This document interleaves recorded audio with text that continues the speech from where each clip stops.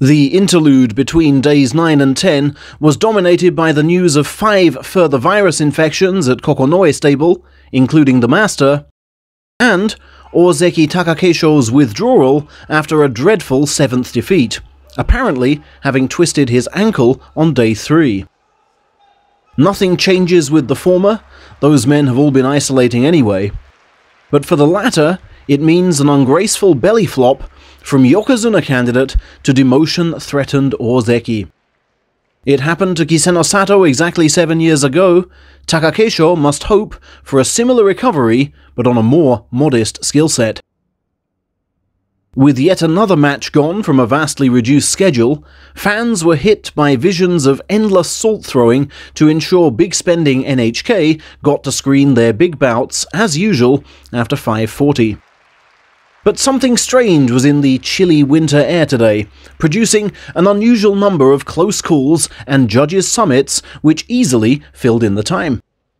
The madness started in Division 4, with Tosa Eizan and Mochizuki.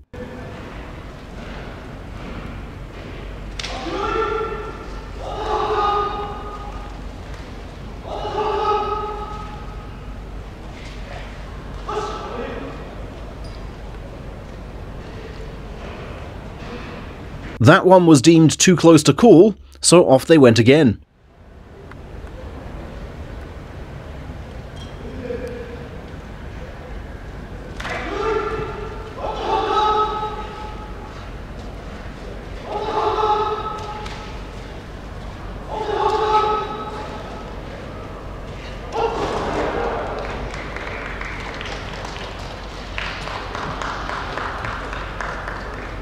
And that one too was a dead heat.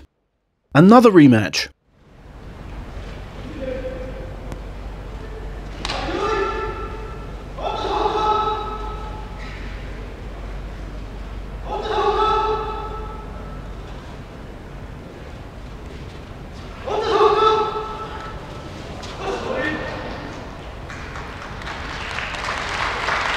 And that was like a junior literally filling in for a senior.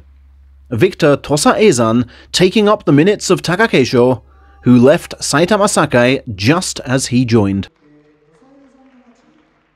In Division 3 today, a very rare form of judges' conference, after Asanoyama's stablemate Asagyokusei charged into Ryuden's pal Shonan no Umi.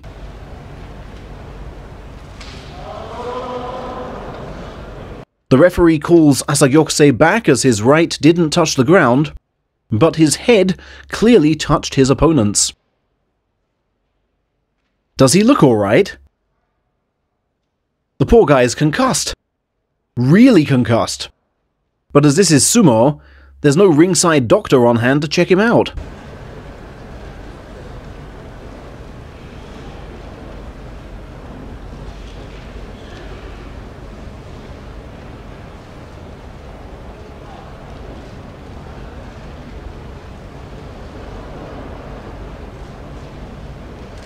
The referee thankfully thinks to check whether the bout should proceed, and a judges' conference ensues.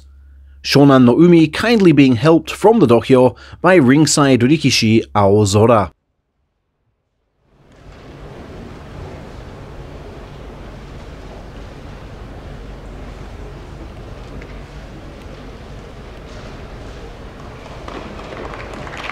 Well, little medical reasoning behind that check. He said he's alright, so we'll have a match.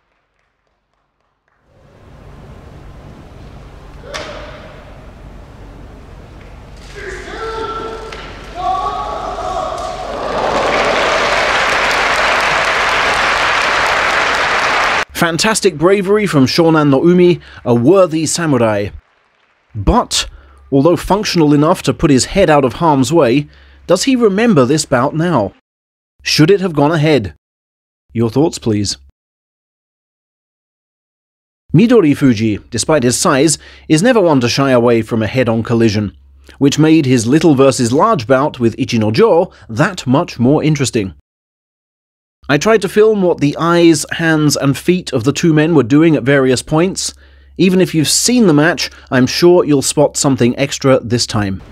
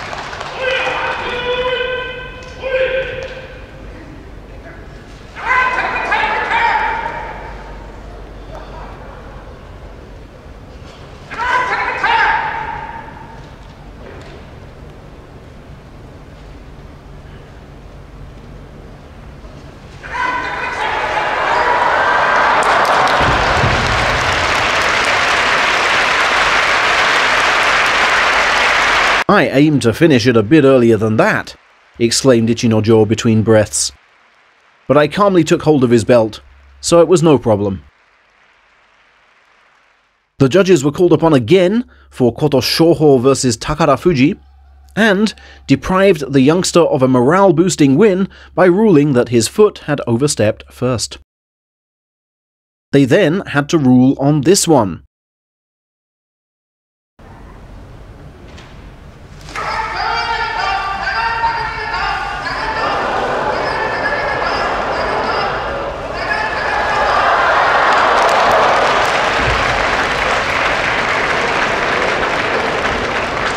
And Chief Judge Isegahama had to break the bad news to his own student.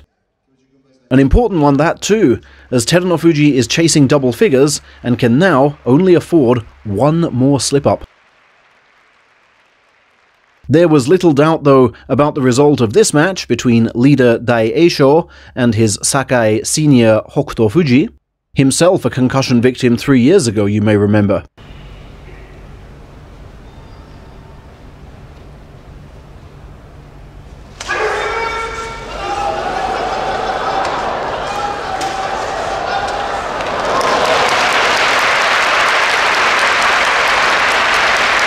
That guaranteed Daieisho's lead for another day. My condition's good, so now it's just a question of spirit, he said. First things first, I want double figures. The final match of the day, though, also resulted in deliberation.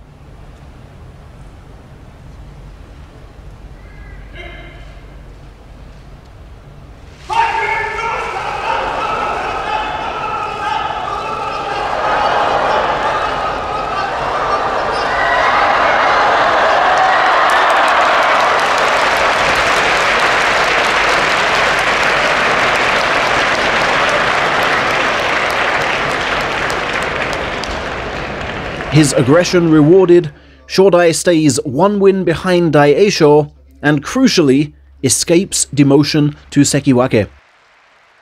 Some hair-raising moments there, but once my win was confirmed and Coach Izutsu congratulated me, I think my face told you what it meant. A release from all that tension, he told reporters. That tension has been suffocating, I tell you. Now, I must try to win my final five. This is the shot I stayed behind for. A newly relaxed Shodai enjoying the stroll home to Tokitsukaze stable with near neighbor Tochiozan, now coach Kiyomigata, who was on door duty at the end. So happy he didn't even notice the cold. Come to think of it, at this moment, neither did I.